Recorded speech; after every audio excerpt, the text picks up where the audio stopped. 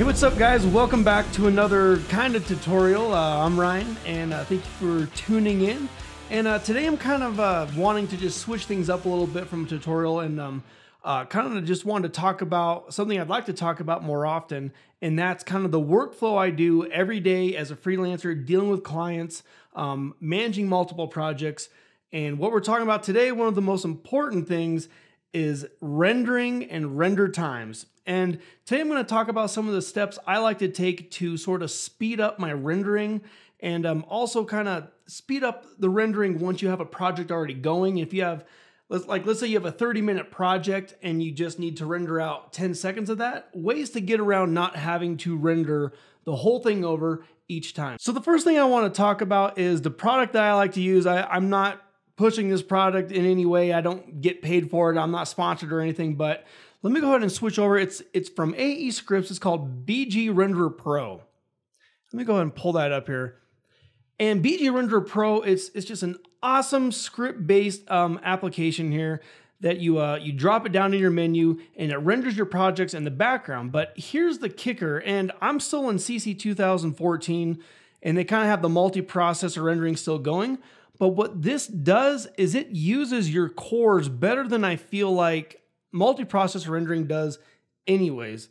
And um, your mileage may vary depending on the specs of your computer, but I just want to mention that this is what I use every day. Um, I either render uh, to frames or render to a movie, but it renders in the background. It, it seems to utilize my processors better, and it's just what I use in my workflow. Um, and I also encourage you to take a look at the features that the script gives. I mean, it can give you notification when your render is done. Uh, it can send you a text, send you an email.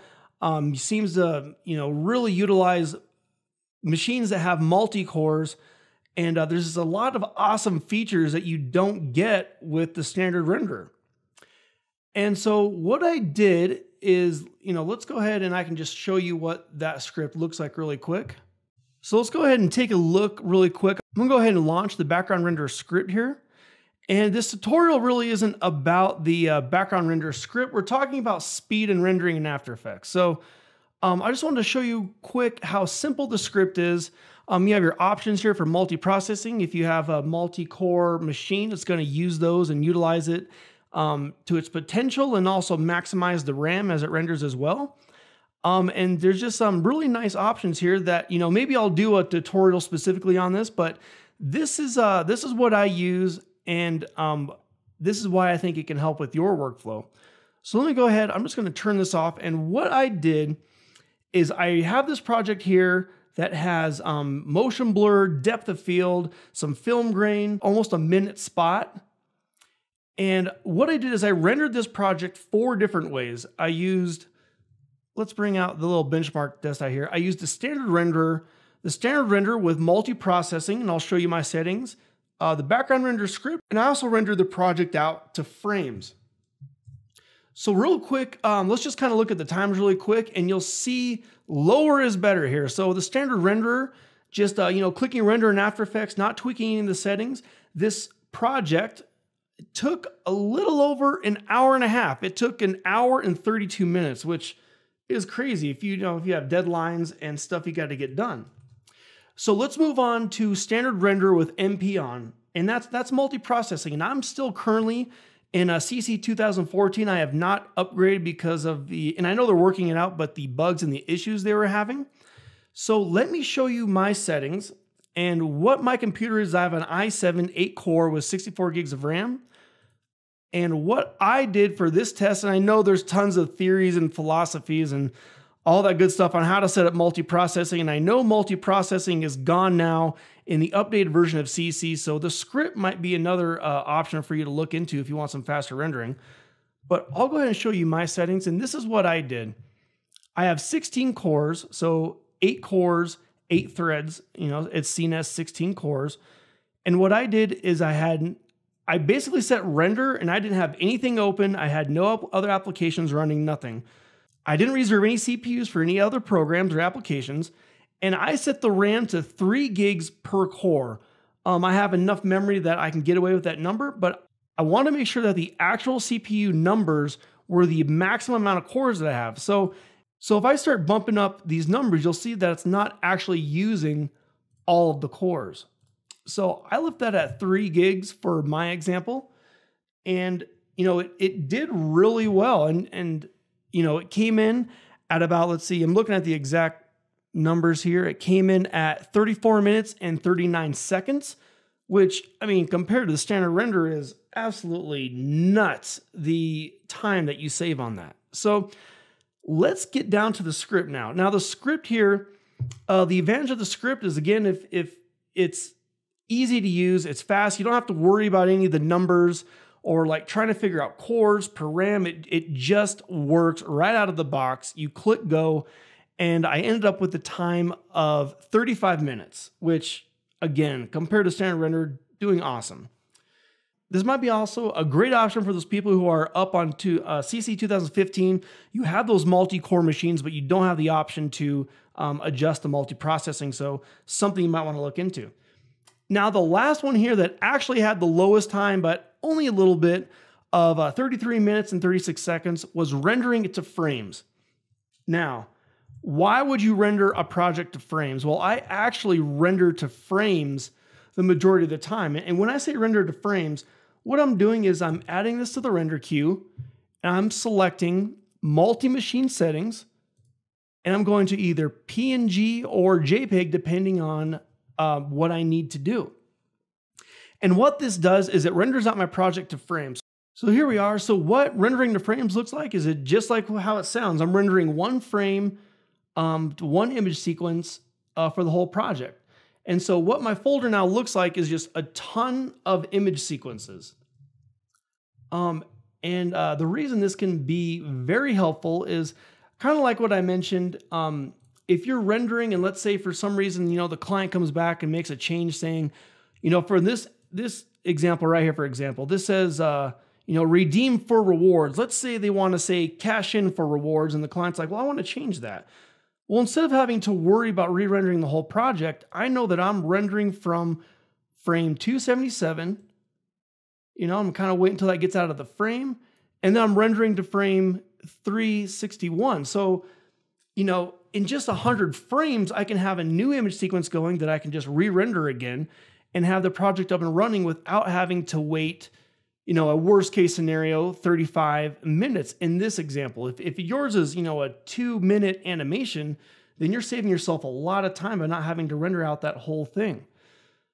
Let me just go ahead and give you an example of what multi-machine rendering does, and I'm going to actually do it using the script. So what I'm going to do is I'm going to go ahead and drop down this background render script again.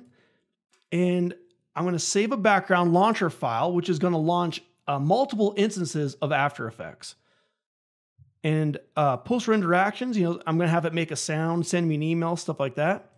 So here we go. So I just I'm just going to make sure my settings are all in place here. Multiple machine settings is going to look for all the frames that already exist and it's going to skip it. It's not going to overwrite the frames. So if I'm run if I'm rendering frames 1 through 100 and it's working on frames 1 through 10, it's not going to overwrite those files. It's going to see the frames that already exist and the next processor is going to go to the next frame. In this instance, I have eight processors, so all those processors are going to be constantly working, searching for the next available frame to keep rendering. So let me go ahead and put this in a new location.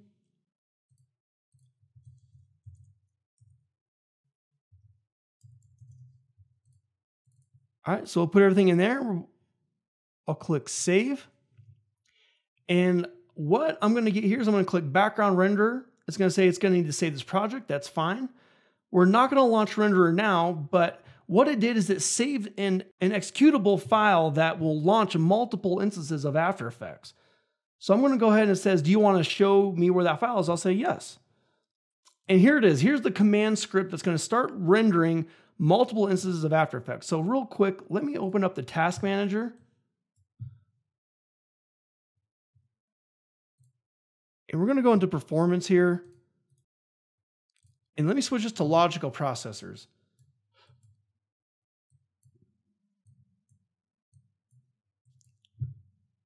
So here we go. So I'm going to open this, make it a little bit larger.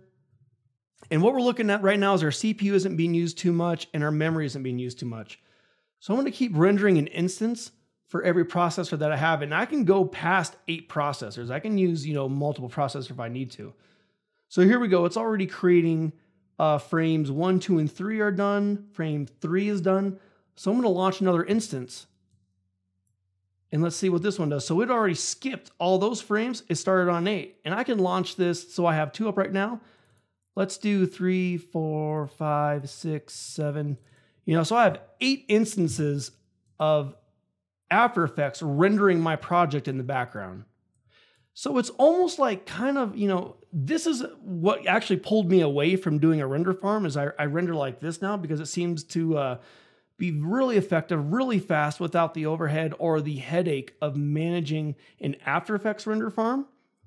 And so if we go ahead and we look at our uh, logical processor here now, our memory starting to get kick, kicked up, our CPU is being more utilized, and uh, you know our render is on the way. So, so I'm gonna go ahead and stop that. That's just an example, and you know, um, let's go back to the uh, benchmark here. And so, if you're wondering what the script frames time is, that's what that was.